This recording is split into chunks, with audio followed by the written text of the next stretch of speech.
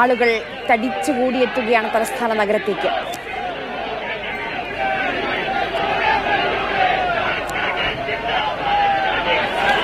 ദർബാർ ഹാളിൽ കാത്തു നിൽക്കുകയാണ് ജനങ്ങൾ. ആയിരങ്ങൾ ജനകോടികളുടെ ജനകീയ നേതാവിനെ അവസാനമായി ഒരു നോക്ക് കാണാൻ വേണ്ടി.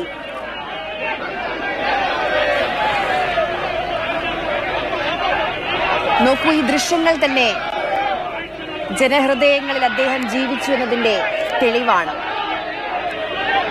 ഇനി ഓർമ്മകളിൽ അദ്ദേഹം അദ്ദേഹം ജീവിക്കുമെന്ന് പറയുമ്പോഴും ആ ഓർമ്മകൾ അനശ്വരമാണ്. ഇത്രമേൽ ജനങ്ങളുടെ ജീവിതത്തെ സ്വാധീനിച്ച മാറ്റിമറിച്ച ഇടപെടലുകൾ നടത്തിയ നേതാവ് ഉണ്ടാകുമോ? സംശയമാണ്. ഇനിയൊരു ഇത്രമേൽ ജനകീയനായ ഒരു നേതാവ് ഉണ്ടാകുമോ? അതും സംശയമാണ്.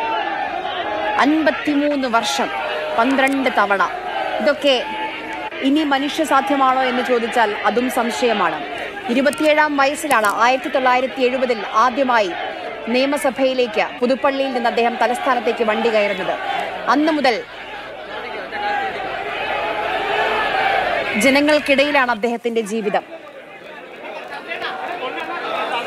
പുതുപ്പള്ളി ഹൗസിലാണ് ഇപ്പോൾ അദ്ദേഹത്തിന്റെ ഭൗതികദേഹമുള്ളത് ഇവിടെ നിന്ന് സെക്രട്ടേറിയറ്റ് പരിസരത്തെ ദർബാർ ഹാളിലേക്ക് കൊണ്ടുപോകും. നാലു മണിക്ക് അവിടേക്ക് എത്തിക്കുമെന്നാണ് അറിയിച്ചിരുന്നത് നേരത്തെ. ഇപ്പോൾ അഞ്ചു മണി കഴിഞ്ഞിരിക്കുന്ന സമയം. എപ്പോൾ ഇവിടെ നിന്ന് പൊതുദർശനം കഴിഞ്ഞ ഭൗതികദേഹം കൊണ്ടുപോകാൻ കഴിയുമെന്നറിയില്ല